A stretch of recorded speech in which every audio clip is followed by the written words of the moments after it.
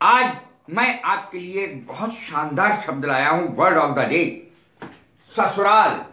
ससुराल की अंग्रेज़ी क्या होती है? फादर इन लॉ ससुर मदर इन लॉ सास father in law's house apostrophe s लगा हुआ है लॉ में। ससुराल कहलाती है। हाउस की जगह आप फैमिली भी लिख सकते हैं, ससुराल। देखें सेंटेंस मेरी बेटी ससुराल में रहती है। अंग्रेज़ी क्या हुई? My daughter lives in her father in law's house या फैमिली मेरी बेटी ससुराल में रहती है। वह अपनी ससुराल गया हुआ है। जो पुरुष होते हैं, आदमी होते हैं, उनकी भी ससुराल होती है।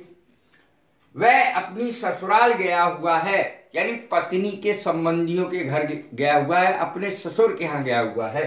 He has gone to his father in law's house वह अपनी ससुराल गया हुआ है।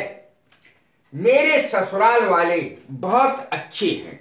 जब हमें अच्छा कहना है तो गुड कहना ही है नाइस कहना ही है। People in my father in law's house are good बहुत अच्छे हैं वेरी गुड अच्छे नहीं है आर नॉट गुड इस तरीके से बोल देंगे। मेरे ससुराल वाले बहुत अच्छे हैं। People in my father in law's family या हाउस आर गुड यदि वो बदतमीज है, बदतमीज भी होते हैं कुछ लोग तो आप अंग्रेज़ी बनाएँगे rude. Rude R U D E मेरे ससुराल वाले बदतमीज हैं। तो बदतमीज की अंग्रेज़ी? People in my father in law's house are rude बदतमीज हैं, अशिष्ट हैं, व्यवहार अच्छा नहीं है उनका। यदि हम झगड़ालू कहें, कई बार झगड़े हो जाते हैं, झगड़ालू होते हैं। क्वायरल सम क्वायरल सम माने झगड़ालू। Q U A double R E L S O M E people in my father in law's house are quarrelsome अर्थात झगड़ालू हैं। अब देखें ट्रीटमेंट ट्रीटमेंट माने सलूक, व्यवहार।